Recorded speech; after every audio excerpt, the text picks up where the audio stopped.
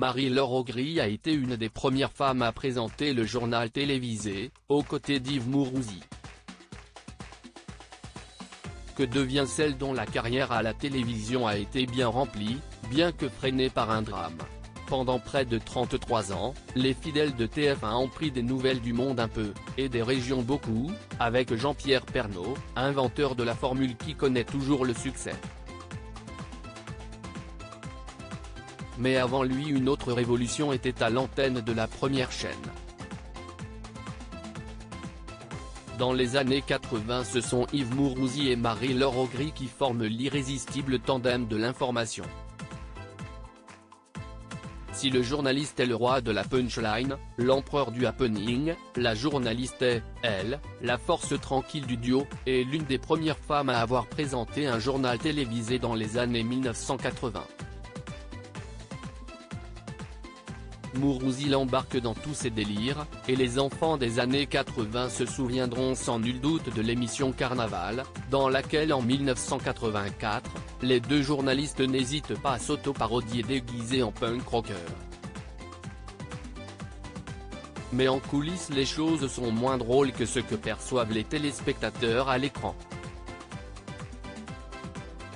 En coulisses du 13h, un drame intime alors qu'elle n'a que 33 ans et qu'elle vient de donner naissance à son premier enfant, Fabienne, Marie-Laure Augry apprend qu'elle est atteinte d'un cancer du sein.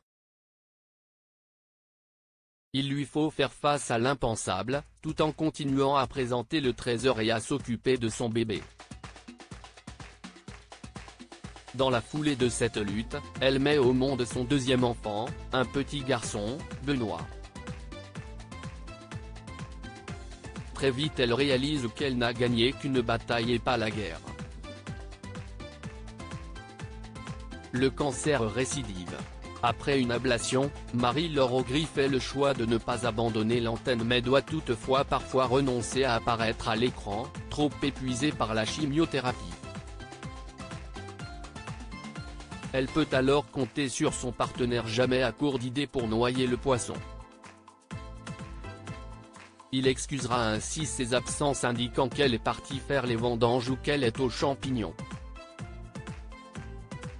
En 1988, une page de l'histoire de la télévision se tourne. Jean-Pierre Pernaut prend la tête du 13h. Marie-Laure Augry présente alors sur la même chaîne en solo l'émission Allo Marie-Laure avant de rejoindre la 5. Quand la chaîne met la clé sous la porte elle part sur RMC grâce à son ancien complice, Yves Mourouzi, qui en est le directeur des programmes.